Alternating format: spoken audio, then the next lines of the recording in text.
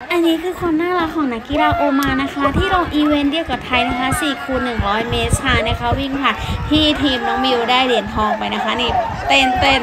ประหนึ่งว่าได้เหรียญได้เหรียญเพื่อต้องมาตีว่าไอเขาไอเขาไม่ได้เหรียญนะ ไม่ได้เหรียญกลับมากลับมา ขอบคุณนะคะ นักกีฬาทุกคนที่มาประเทศไทยนะคะ